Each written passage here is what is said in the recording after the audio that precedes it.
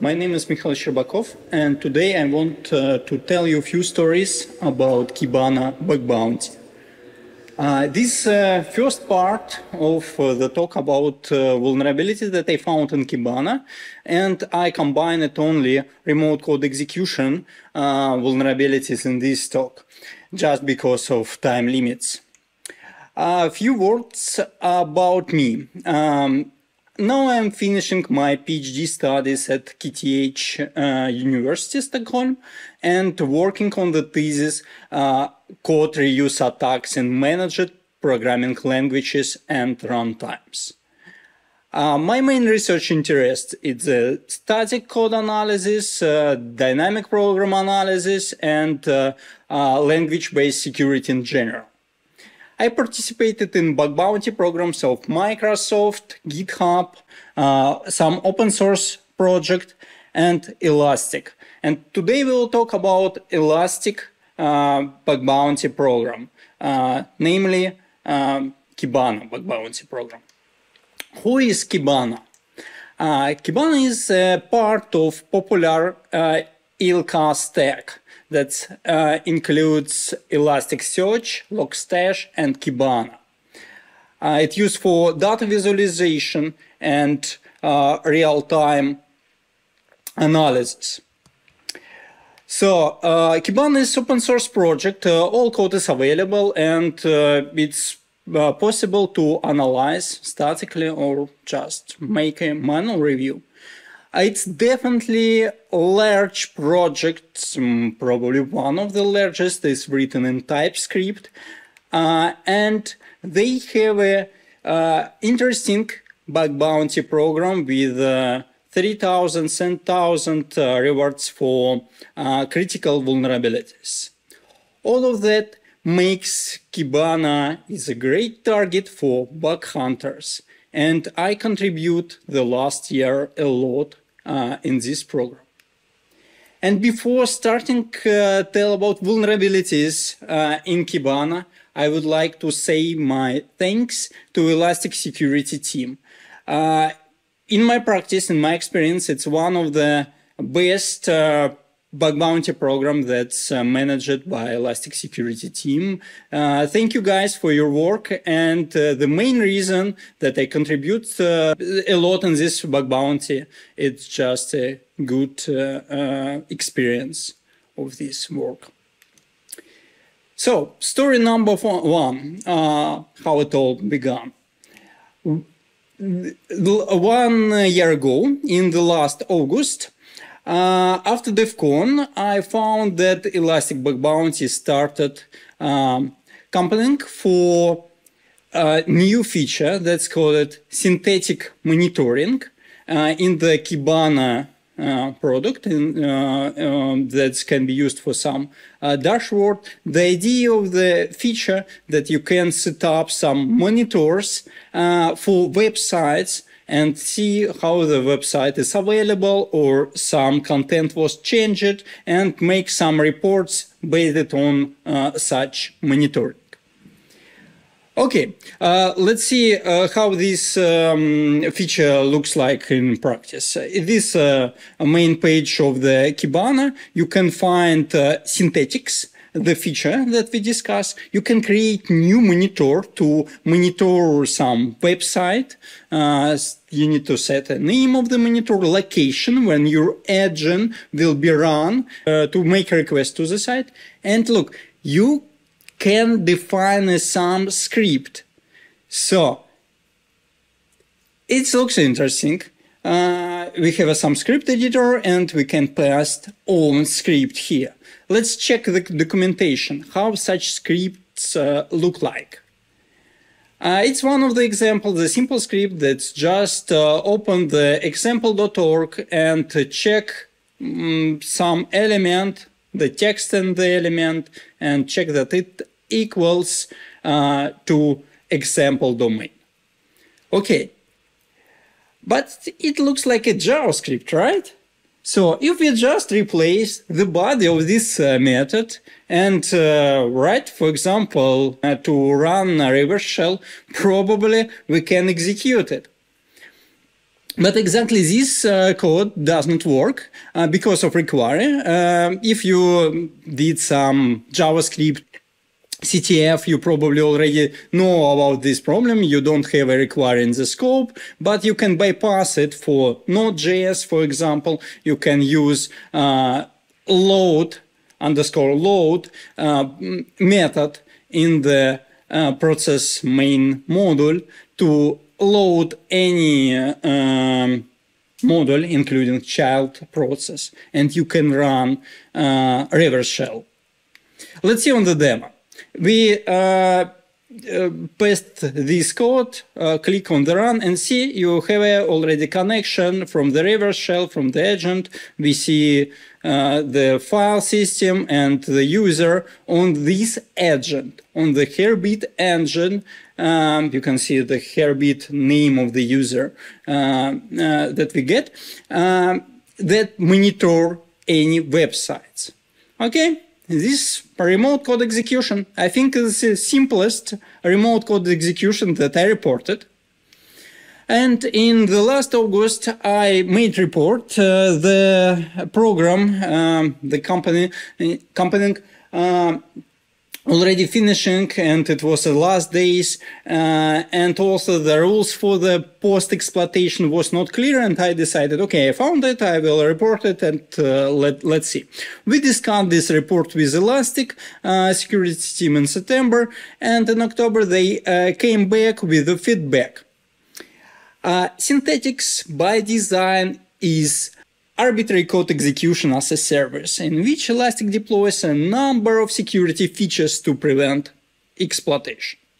For successful exploit, someone would have to do something beyond getting a shell. Okay, so it makes sense if you make such feature, probably you already isolated uh, uh, this code on the container and they what, what they actually did.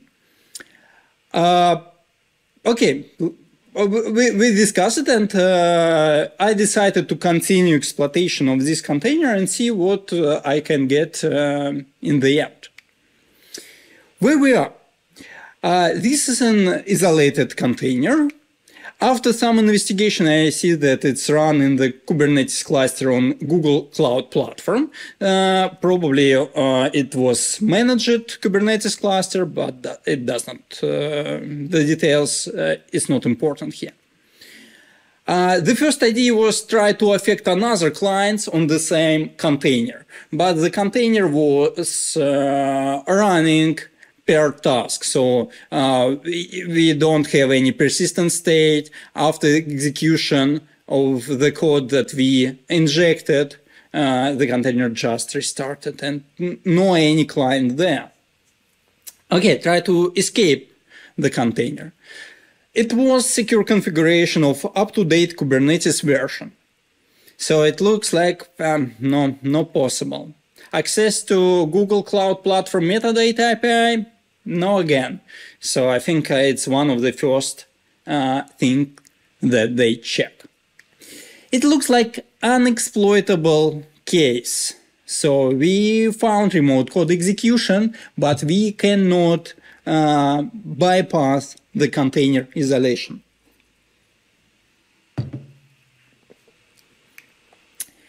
Uh, I continue investigated uh, some things around and found the same Docker container for private Kubernetes cluster. It means we can run it in the own Kubernetes cluster. It makes um, threat model a little bit weak because we don't have exactly the same settings. We can say if we can uh, escape from container or affect some another services or features, uh, in the default configuration on the Kubernetes, uh, it looks like a possible uh, exploitation flow. And I also uh, found that this container already have net row capabilities. It means that we can send any row package to the network. Any package. Means we can emulate any protocol. For example, we can say send ARP packages. I think you already understand my idea and uh, get what I want to do. Yeah, let's try to do ARP spoofing attack in 2024. So, ARP protocol allows to send some request to match IP address to the MAC address of any computer. And for example, in the network, when Bob tried to connect to Mary and communicate by IP uh, transport, we can say to Bob that Mary it's a attacker computer and say to Mary the Bob is an attacker computer and intercept the traffic between these two machines. It's a simple, uh, old, very old, old school uh, attack. Uh, but what about Kubernetes? Um, I already wanted to start to run Wireshark and investigate the traffic, what actually happens, and found a nice blog post uh, from Nir Charco. Attacking Kubernetes clusters throws your network plumbing. So, uh, he described the same idea of ARP spoofing uh, to uh, uh, replace DNS server that available in the Kubernetes to the own uh, DNS server. And in this case, you can uh, hijack any DNS request and uh, uh, show on send a request to the own web server instead of any available web server. And the crucial component of this attack, this is this bridge that's called BR0 on this figure. So this bridge uh, supports ARP protocol and has own ARP uh, table uh, that uh, has any IP addresses and MAC addresses of the pods that run on the same node. So it looks like very restricted attack. We can affect only pods on the same node. Uh, but default uh, network interface in Kubernetes allows us to uh, exploit ARP spoofing. Let's see on the demo. So the one of the idea to start uh, this attack was to use some uh, cloud environment. I check Microsoft Azure and they allows us to use default Kubernetes. So you can see the console. Uh, I already started attacker at victim pods, uh, uh, and you can see that it's run on the same node in Kubernetes cluster. It allows us to uh, perform attack from the attacker to affect the victim. Uh, first of all, we install uh, proof of concept and some additional uh, proof of concept script and some additional dependencies on the attacker. In the same uh, time, we open the victim machine. Uh, we will install uh, curl there to emulate some web requests. Yeah, it's the console of the victim machine. And um, after the installation of the core, the idea that we try to get the data from the google.com after that, we start the attack and try to use own uh, web server instead of the google.com. So now you see the usual, the valid uh, response from the uh, google.com. And this is the attacker pod. We run uh, DNS spoofing uh, proof of concept that uh, I found in that uh, blog post. I also uh, uh, improved it to use it on Azure. Uh, by default, it did not support it. and we start the attack here. And now we do the same request and you can see that our web server uh, responded instead of the uh, google.com. So it's a classic DNS, uh, ARP DNS spoofing that we demonstrated in this demo. And I updated the report to demonstrate this attack. Elastic changed the report uh, and a few days, uh, one week ago, uh, they rewarded uh, with uh, almost 4,000 bounties for this attack. Not bad for unexploitable case and very exotic attack. Uh, um, and it was very interesting experience to try to uh, use ARP spoofing in the real bug bounty case. So uh, I, made uh, a lot of the details of network configuration of the uh, Kubernetes. If you're interested in uh, that, read the blog post. Uh, I'm sure you enjoy it. It's um, one of the best blog posts about Kubernetes network networking that I was read. The links, uh, all links will be in the end of the presentation. Let's see on another attacks. Um, the main topic in my PhD studies uh, for last two years was uh, server-side prototype pollution vulnerabilities. We published three papers about that when we found, uh, we implemented some toolchain to find prototype pollution vulnerabilities. We found prototype pollution uh, gadgets that allows us to uh, exploit prototype pollution and achieve remote code execution attack in Node.js uh, itself, in Dino, in uh, NPM packages. If you're interested in this, uh, read the papers. And I also give us some short introduction of our research and uh, prototype pollution attack the last year on DEF CON and uh, many technical details of the gadgets that we found in Node.js itself in another talk on the Black Hat Asia.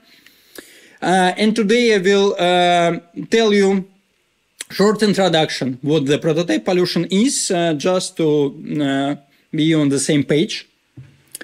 So let's assume that we have a Node.js application. Uh, we run some web server. You see index.js. It's very simple web server that can handle two requests update and backup. Uh, for update request, we provide some arguments. For backup request, we just trigger the backup of database. Okay, it's our setup. So we have attacker in this threat model. It's any user that can send any request uh, to the web server. And if the attacker sent such request with these parameters, uh, and we have a handler for update request, the handler in the first line create empty object and uh, runtime in the same time create empty object with a built-in property prota that points to the object prototype that contains a lot of function like toString, uh, value of that we can reuse. So it's like inheritance implementation uh, for JavaScript and TypeScript. Uh, in the second line, you can see that we read the property from the object uh, that's specified in the argument org. This is the proto. It means we get a reference to this object. In the last line of the code, we assign a value from details to another property of the prototype, that property shell. So we read the prota, we assign uh, value calc in the shell, and we get it in the prototype. This code pattern uh, is called prototype pollution because we pollute, we add some proper, property or replace some property in the object prototypes itself. Let's assume that we have such code for backup handler. This function try to run um, the backup script, this one, and use the shell from the options and default shell if the uh, shell is undefined. In our case, shell is undefined and it will be used the default shell. Okay, it's very common pattern in the JavaScript. But what actually happens if we trigger this handler after uh, prototype pollution? Uh, we create options that points to the same object prototype.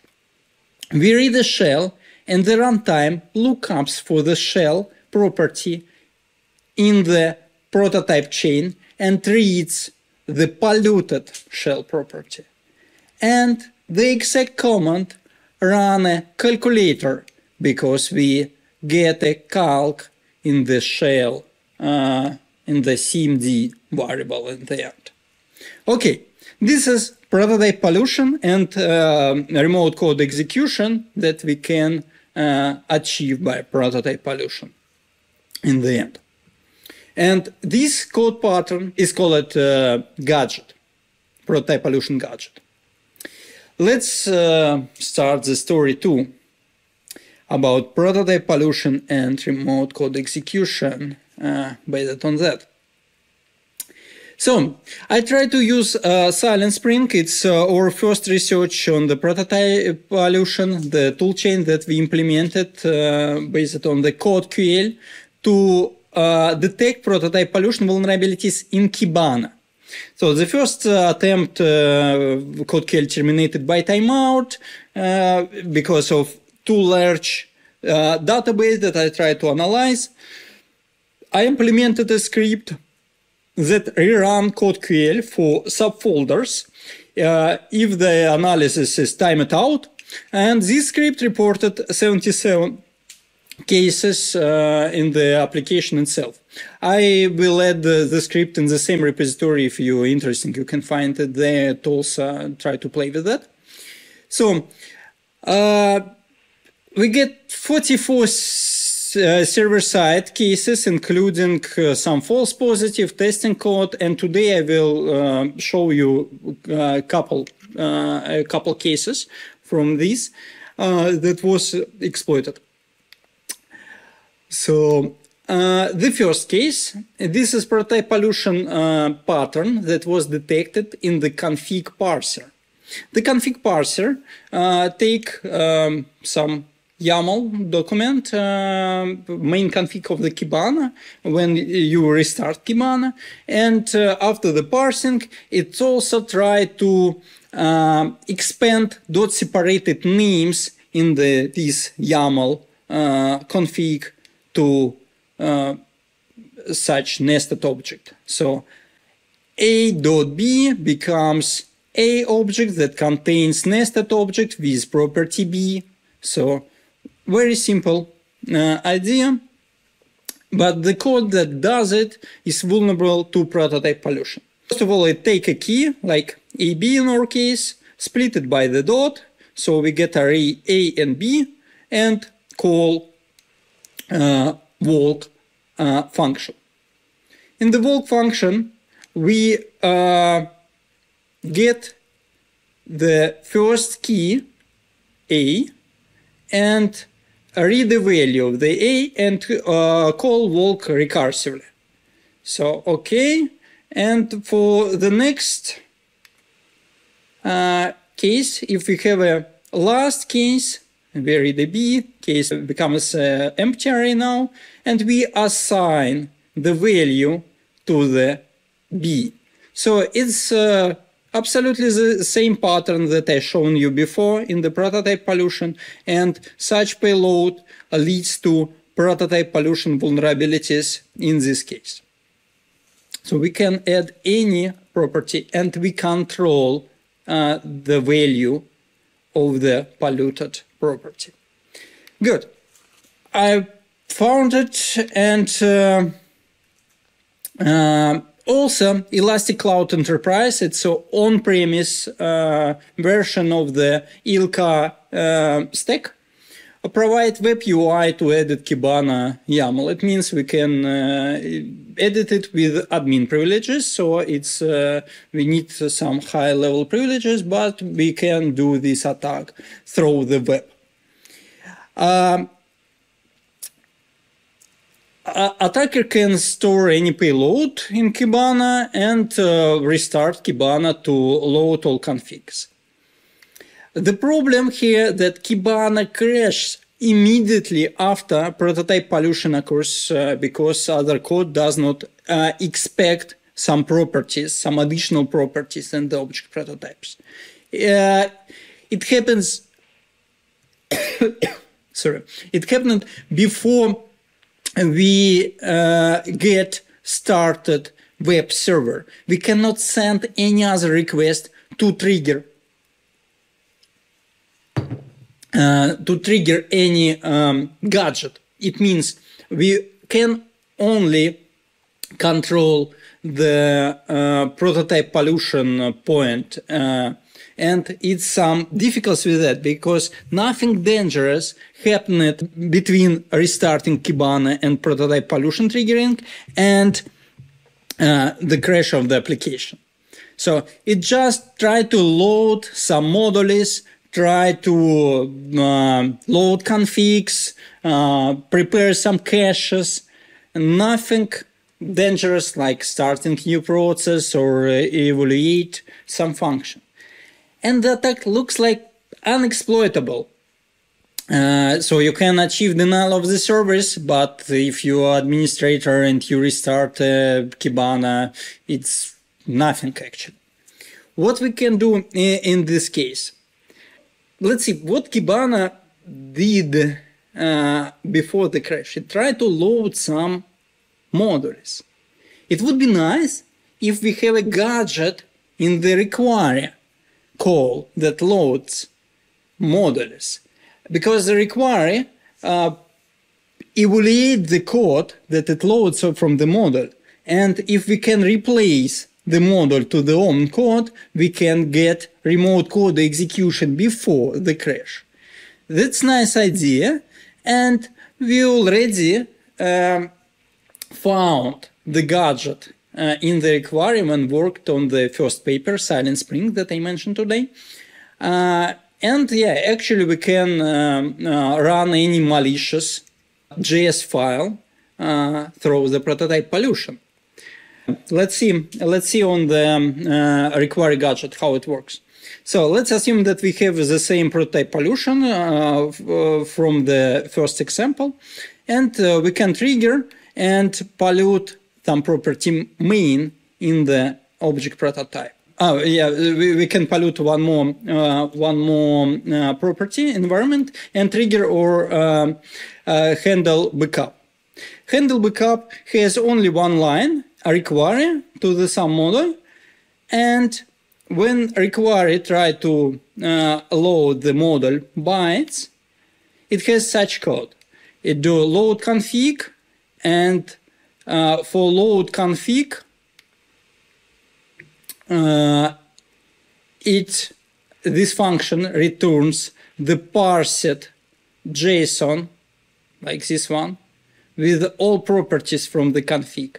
But some uh, packet JSON, uh, the configuration file, does not have uh, main. In this case, the default behavior should be get index.js, uh, but we have main read uh, expression here, and it tried to read the main that we polluted before from the object prototype. It means we can um, read any uh, JS file that exists in the system. And we, uh, it's some limitation for the require gadget, but we combine it with another attack. If we can find some JS file that for, uh, for example, start new process, do child process exec, we can combine it with another function. And npm.js actually, uh, when we load it, uh, starts new process. Uh, it does uh, such code. It executes spawn function. Uh, with two arguments, node, the executable process, and some arguments. And the implementation on the spawn gadget, we have another gadget, a spawn function, sorry, we have another gadget uh, that's try to read property shell and env from the options. And options was empty, uh, undefined. It means it becomes an empty object. And when we read env here, we read it from the empty object and we actually read the value from the prototype. Okay, that's the idea of the require gadget. The problem that this gadget has been fixed by Node.js team. And I already knew this uh, when found it. And in parallel, I worked on the, some another tool, some dynamic analysis It's called G gHunter that described it in the last uh, paper that we published and that will be presented in Usenix security in few days, next week. Uh, and uh, working on that tool, I investigated uh, um, require gadget and the fix, uh, and the require gadget looks like this. So the code that we already saw, we have a load config. So we have uh, such code that uh, read package JSON, try to parse it by JSON parse, and JSON parse return object that has a object prototype in the on chain, and it tried to read the main property, and at that moment it can read the polluted property if we already polluted main in the object prototype. So this gadget and Node.js team fixed it. So the fix looks like this. They wrote some filter on properties that actually read this list of properties exactly from the object itself, does not check it in the prototype chain. So it means we cannot affect reading on the main property anymore after that fix. But at some moment, gHunter start detect uh, the required gadget again in the new version of the Node.js. And I double checked all experiments and I see that required detected again and again for some cases. And I start to see on these fix more closely. And it has another gadget. I will zoom in. You can see exactly in these lines. We have this if statement. If JSON is undefined, the function returns false. The function load config returns false. Parse JSON becomes a false and we try to read the main from the false.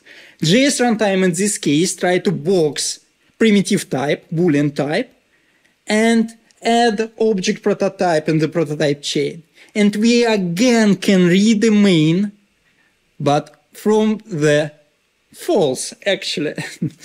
so it's new gadget. And when I figure out it, um, so I um, add uh, the payload for the require in the original uh, uh, Kibana YAML file, and uh, it allows us to exploit uh, this prototype pollution and uh, achieve remote code execution. So this vulnerability did not get a high score because it required high privileged user, but still it's almost 4,000 bounces. Let's see on the next story about prototype pollution and remote code execution. Another case uh, that was reported by our script Silent, uh, Silent Spring uh, Node.js queries was a prototype pollution in uh, some handler, mm, web handler. So it's very simple prototype pollution. You can see we create empty object, it means this object has the prototype uh, points to the object prototype. And we have this uh, line of the code. If namespace is uh, underscore underscore prot underscore underscore, and the key is the key uh, controlled by the attacker, that's so. And the value also can be uh, controlled by the attacker. It means we can add any key with controlled value to the object prototype. Very simple. You don't even need to uh, script to find it. Um, okay, so when I started working on this script, the question we need to find a gadget. We worked on the Dusty. It's another project that detected uh, 49 uh, gadget leading to remote code execution in um, npm packages. We took a thousand popular npm packages and uh, run or dynamic analysis that try to instrument the package and investigate what the flows can lead to uh, read the properties from the prototype and can lead to remote code execution in the end and one of the package that was uh, that has um, gadget was not mailer and kibana use uses this gadget to send emails. So the idea uh, we have some uh, send mailer transport that's optional, but uh, you also can pollute some option to enable it, um, and it has uh, some options that's by default uh, empty. Uh, and if we have path in the options, the path of the runned pro, uh, program that should be sent mailer and args will be read from the uh, options object and prototype in our case and sent to the spawn function. Okay, so it means we can inject any command and execute, uh, uh start any process on the uh, victim uh, machine. But the problem that delete handler crashes the application uh, in less than one second after the prototype pollution. So it also becomes uh, immediately because some code in the end of the handler of the same handler does not expect the property, some additional property, and throw exception that's uh, not handled correctly. And we get denial of the service. That's not much interesting for such uh, uh, vulnerability. So it looks like unexploitable denial of the service. Uh, I could not say that it's uh, interesting impact that we want to show. But if we try to emulate some race condition by sending a lot of gadget triggered requests in parallel and one prototype pollution triggered request between them, we can try to get uh, the situation that uh, gadget triggered request will be in the small uh, time exactly after the prototype pollution request. Uh, let me explain it uh, based on the script, on the exploit script. Uh, so we can implement such race condition exploit uh, on the bash or any other language.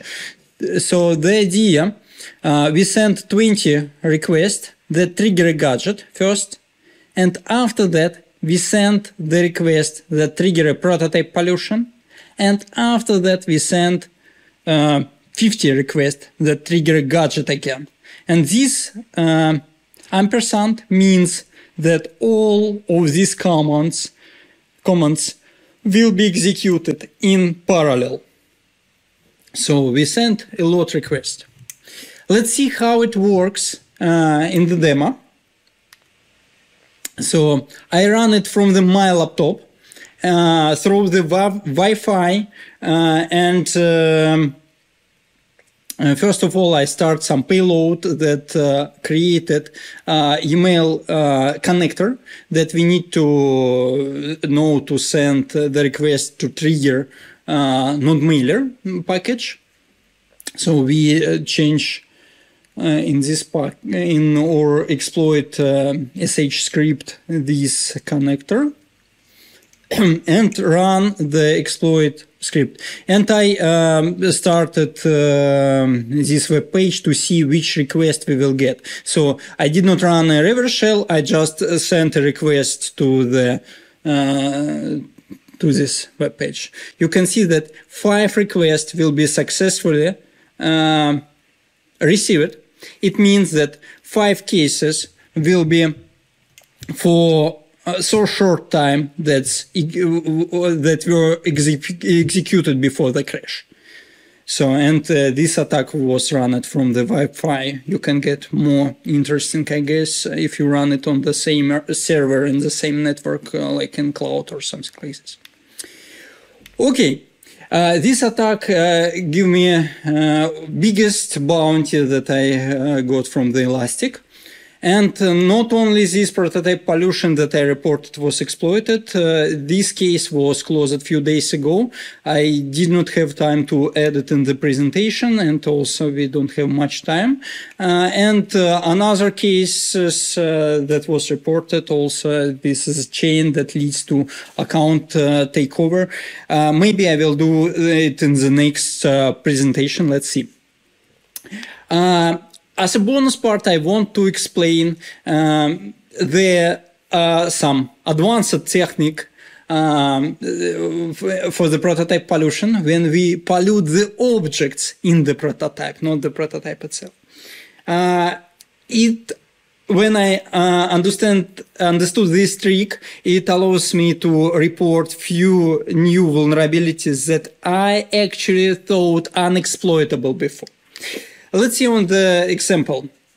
We have a prototype pollution uh, from our original example, very simple code that we already know. We have a gadget.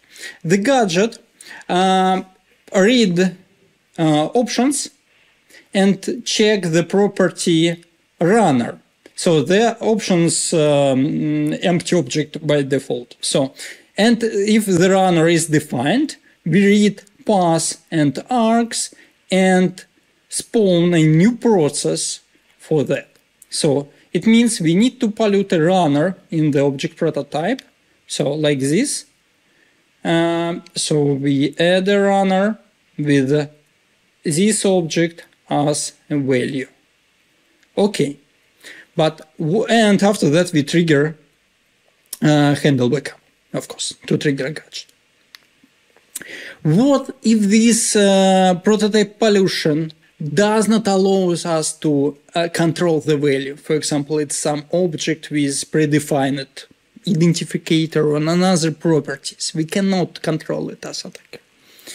Or it's empty array. Array does not have any properties, right? So uh, it looks like unexploitable at least for such gadget. Maximum we can get denial of the service, but so. But what if we have a such code? Uh, it's a fixed, I call it a fixed prototype pollution. We check that uh, org does not equal a proto and execute this uh, code only for that.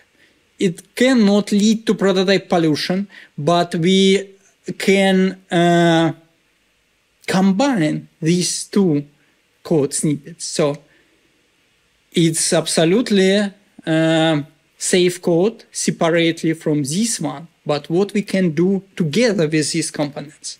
First of all, we need to pollute the prototype via the runner with the value of empty array in the prototype to trigger handle uh, update. Good. Uh, after that, we trigger this safe function to with org uh, that has a runner value. It means we will try to read the runner from the prototype at this step. And we pollute the runner after that. We can fill any additional uh, properties in the runner by this call and the second call. And after that, we trigger backup uh, handler. It gives us the remote code execution again by this chain of the calls, the web request that triggers such functions. If you think that it's unlikely that we find some fixed prototype pollution case and unfixed prototype pollution case in the same uh, application, I can say you that, for example, merge functions are very typical uh, in the um, fixed prototype pollutions. Like a merge function of the very popular uh, package Lodash allows us to uh, pollute a runner with such payload. And you can find Lodash merge calls in many applications. And that's important that these two parts can be unrelated. It could be absolutely different features in, uh, uh, in the application. So yeah, use it for fun and bounties. In conclusion, in this talk, uh, I wanted to show the cases that look unexploitable and say, don't give up. Try to achieve remote code execution even it looks uh, impossible.